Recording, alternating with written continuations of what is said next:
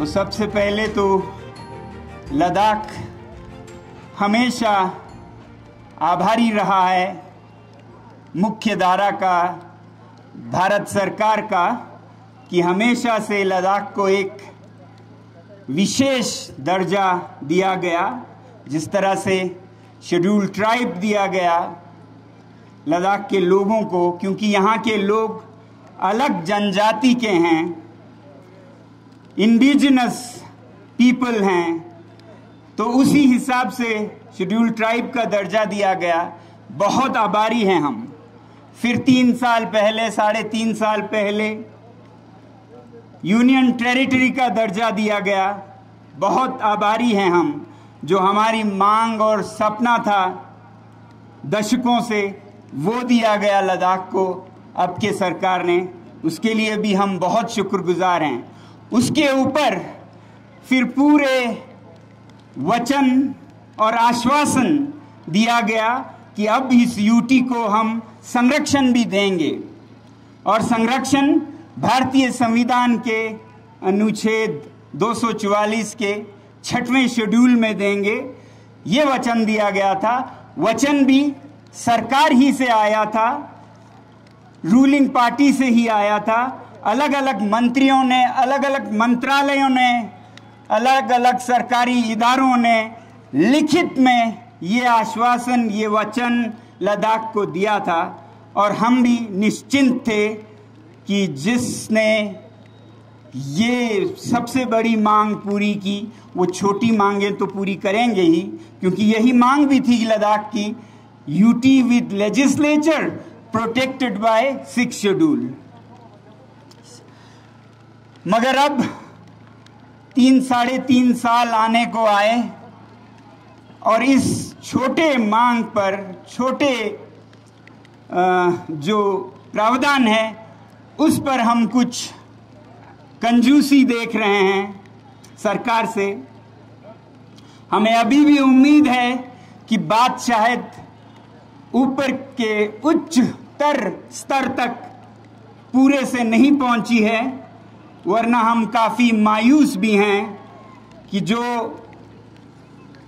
वार्तालाप हुए दिल्ली में कल 19 जून को, उसमें हालाँकि सरकार को मालूम था लद्दाख के लोग क्या मांगते हैं, उन मांगों को उस सूची तक में रखने का पूरा जवाब नहीं दिया गया और आज एक हफ़्ता हुआ मीटिंग के बाद भी कोई जवाब नहीं आया। अभी भी उम्मीद है, मगर पेशेंस सब्र खत्म होता जा रहा है। मुझे डर है, मुझे डर है कि इस हद पे, इस दर पे अगर सरकार अपने वचन से पीछे हटती गई तो लद्दाख के लोगों का दिल टूट जाएगा और लद्दाख के लोगों में जो जज्बा है देश के लिए, जो देशभक्ति है उसमें भी कमी आ सकती है। डर ये नहीं है कि लद्दाख के लोगों का देशभक्ति, राष्ट्रभक्ति दिल्ली या मुंबई के लोगों से कम हो जाएगा। डर मुझे ये है कि यहाँ की देशभक्ति दिल्ली और मुंबई के कहीं बराबर ना हो जाए। दिल्ली और मुंबई में जो शहरी हैं, जो कि दिल्ली, भारत के दिल में रहते हैं मैंने बहुत देखा है उनकी देशभक्ति को। ज़्यादातर वक्त मैंने ये देखा है लोग सरकार को किस तरह से नुकसान दें और अपना किस तरह से ज़्यादा से ज़्यादा फ़ायदा लें, उसमें गुजारते हैं। टैक्स चोरी करने में लगे रहते हैं, इधर का माल उधर करने में लगे रहते हैं, मगर लद्दाख के लोग, लद्दाख के लोग गरीब हैं संसाधन ज़्यादा नहीं हैं, मुश्किल में गुजारा करते हैं, मगर उस पर भी दिलदारी देखिए। अपने छोटे काम धंधों को छोड़कर देश के लिए लड़ने को निकल पड़ते हैं फौजी भाइयों के साथ। यहाँ पर जितने भी युद्ध हुए, वो चाहे सन 48 का कबाइली युद्ध हो पाकिस्तान के साथ वहाँ वो निकले थे फौजियों के साथ, बिना कुछ मांगे स्वयं सेवियों के रूप में वॉलेंटियर्स के रूप में। फिर पैंसठ की जंग हो पाकिस्तान के साथ, या बासठ का जंग हो चीन के साथ, या निन्यानवे का, कारगिल युद्ध हो हर एक जंग में लद्दाख के लोग फौज के साथ कंधे से कंधा मिलाकर उनके लिए रसद पहुंचाते, उनके लिए मदद करते युद्ध स्थल तक। और महिलाएँ अपने घरों में पकवान बनाकर उनके लिए ले जाते हैं। उन्होंने कभी किसी चीज़ की मांग नहीं की। इसके बदले हम ये देंगे। जबकि दिल्ली में मैंने देखा है कि वो फौजियों के वर्दियों से भी पैसा कमाते हैं, उसको भी काट कर बंदूकों से तक पैसा इधर का उधर करते हैं। तो वो देशभक्त हैं, या मैं कहूँगा चीन के एजेंट हैं, जिनके वजह से शायद युद्ध हो तो शायद भारत पीछे पिछड़ जाए, क्योंकि ऐसी वर्दियाँ पहनकर, ऐसे बंदूकें लेकर जाएँ, जिसमें गपला हुआ है तो क्या लड़ेगा भारत? मगर लद्दाख के लोग, वो दीवार हैं, वो शान हैं, जिसका दावा न चीन कर सकता है, न पाकिस्तान। चीन अपने फाइटर्स का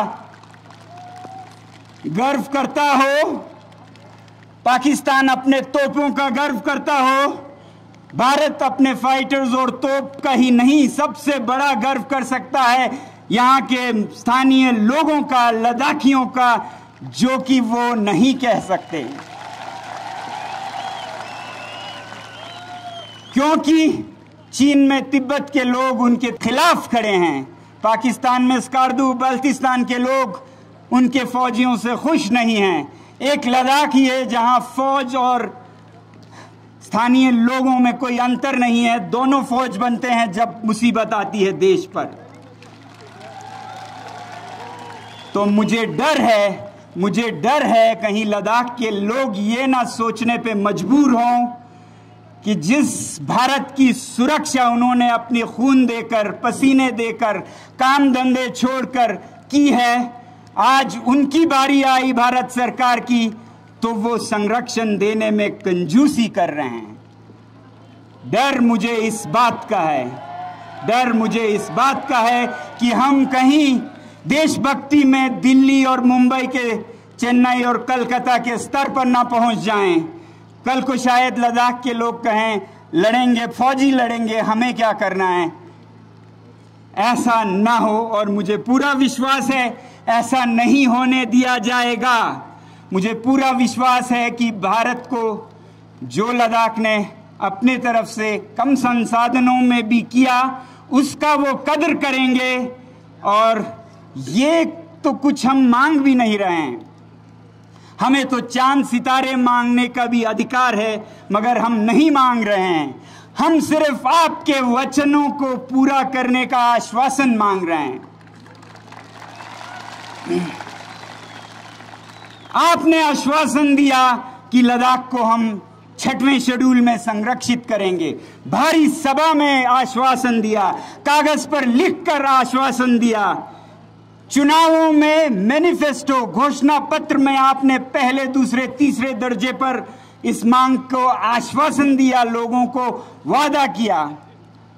तो हम वही मांग रहे हैं कि हमने अपना आपको वोट दिया, क्योंकि आपने हमें ये आश्वासन दिया, और अगर आपने हमें जो देने का वादा किया, वो नहीं दिया तो ये ठीक उसी तरह होगा, जैसे किसी दुकान पर पैसे दे दो और सामान ना मिले। कोई भी वादा टूटे तो उसका कानून के नज़र में भी, समाज के नज़र में भी, न्याय और नैतिक नज़र में भी ये गलत ही माना जाएगा। तो जब मैंने ये देखा कि इतना बड़ा वादा करने के बाद पीछे हट रहे हैं, मुकर रहे हैं, याद दिलाने पर भी नहीं मान रहे हैं, नहीं सुन रहे हैं। भूखे रहकर पाँच दिन आवाज़ दी, दिल्ली में जंतर मंतर में पास आकर आवाज़ दी, और अब नौ दिन भूखे रहकर और सारे लद्दाख ने आज मिलकर यहाँ विनती की, उस पर भी अगर नहीं सुनते हैं तो फिर मैं एक तरफ़ हताश भी हो रहा था और सोच रहा था शायद मुझे ये अनशन आमरण ही करनी चाहिए, क्योंकि मैं नहीं देख सकता एक देश में झूठ की जीत होते हुए। कहते हैं, और मैं बड़ा हुआ हूँ, यही सुनते कि सच्चाई की जीत होती है, झूठ की नहीं।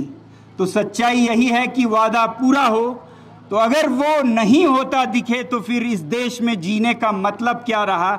मैं ये सोचने पर मजबूर हुआ था। आपको बताऊँ कि ये अनशन आमरण करूँ। मगर फिर मगर फिर मुझे अपना ही एक ख्याल याद आया कि देश के लिए जान देने की ज़रूरत नहीं, बल्कि ज़िंदगी देने की ज़रूरत है। और और इस संदर्भ में कहें तो सच्चाई के लिए जान देने की ज़रूरत नहीं है। ज़िंदगी देने की ज़रूरत है, क्योंकि जान के साथ सच्चाई भी मर सकती है। तो मैंने ये सोचा कि अब शायद इसी सच्चाई को देश में फैलाने का एक मिशन बनाया जाए, क्योंकि आज मैं देखता हूँ और बहुत विचलित होता हूँ, बहुत डिस्टर्ब होता हूँ कि कहीं कोई भरोसे का, कोई उम्मीद नहीं दिखता है इस देश में। हर कोई एक दूसरे पर शक की नज़र से देखता है। और इसी वजह से शायद दुनिया के ट्रांसपेरेंसी इंटरनेशनल के ईमानदारी के जो एक सूची बनाई गई दुनिया में ईमानदार देशों की, उसमें भारत पहले नंबर पे नहीं आया, दूसरे पे भी नहीं आया, तीसरे पे भी नहीं आया, जो भारत अपने आप को इतना नैतिक मॉरली अपराइट मानता है, जो भारत विश्व गुरु बनना चाहता है उस भारत का रैंकिंग पचासवीं नंबर पर था, पचासी। आप सोच सकते हैं कहाँ हम गिर गए हैं। फिर मुझे समझ आया क्यों गिरे हैं। क्यों लोग एक दूसरे पर विश्वास नहीं करते? क्यों शिक्षक, छात्र पर, मालिक, मजदूरों पर, सरकार लोगों पर क्यों नहीं करती है? क्योंकि शायद नेता ऐसे ही काम करते हैं, क्योंकि लद्दाख में हम देख रहे हैं कि ऐसा एक हो रहा है तो अब मैं उम्मीद से इंतज़ार कर रहा हूँ कि क्या यही वजह है कि लोगों का विश्वास सरकार से जब, नेताओं से जब उठ जाता है तो फिर पूरे देश में एक सत्य की कमी और बेईमानी की जीत सी हो जाती है। तो मैंने ये सोचा है कि अब मैं, मेरा एक मिशन ये होगा कि भारत के हर कोने में जाकर लोगों में ईमानदारी के बारे में बता सकूँ ताकि इन ट्रांसपेरेंसी इंटरनेशनल में भारत पहले पाँच देशों में आए। और सियासती नेता जो हैं, राजनीतिक हैं, उनमें ट्रांसपेरेंसी और उनमें ईमान लाने की ज़रूरत है। और ज़रूरत पड़े तो आने वाले हर इलेक्शन में कोई भी पार्टी बुलाए तो मैं वहाँ जाके लद्दाख के साथ क्या हुआ और ऐसा कहीं नहीं होना चाहिए, धोखेबाजी, ये बताने जाना चाहूँगा। ये सिर्फ़ इसलिए नहीं कि एक पार्टी को बदनाम करूँ और जो बुलाए उनकी तारीफ़ करूँ। उनका भी मैं कान खींचना चाहूँगा कि कहीं आप ये तो नहीं कर रहे हैं। बस यही उम्मीद है आखिर में कि ये सब जो मैं कह रहा हूँ वो गलत हो। यही दुआ है मेरी कि ये सब कहीं नीचे के नेतृत्व से, कहीं नीचे के अफसरों से आई हुई बातें हैं। ऊपर सब कुछ ठीक है, ये मेरी उम्मीद है। यही मैं, इसी उम्मीद पर मैं कुछ और दिन इंतज़ार करूँगा और हमारा पूरा लद्दाख अगले कुछ महीने तक इंतज़ार करेगा कि ये सब हमारा भ्रम था सच्चाई कुछ और है, सच्चाई की जीत होती है। इतना ही मैं कहूँगा, जय हिंद, जय भारत, जय लद्दाख।